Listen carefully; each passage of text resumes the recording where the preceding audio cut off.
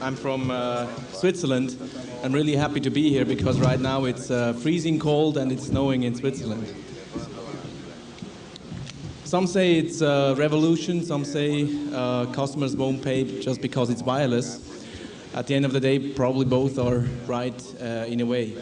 We'll talk about uh, mobile internet services in the next few minutes, and I'm uh, leading the mobile laboratory of uh, C-Quential. C-Quential is a management consultancy uh, focusing on time and time-enabled companies, uh, industries, time standing for telecom, IT, media, and entertainment.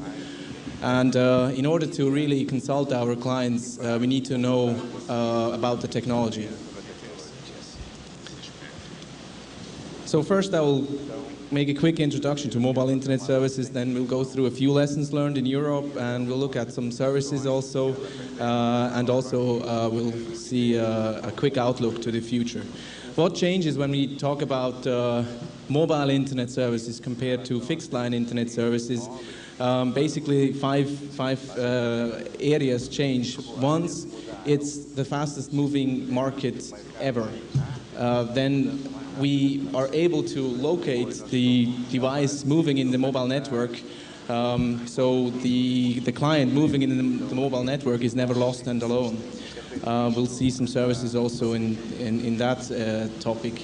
Then also um, clients have anytime access and anywhere access to, the, to their database, to their services, not just when they're at home or in the office but also businesses have access to their clients uh, 24 hours a day, seven days a week.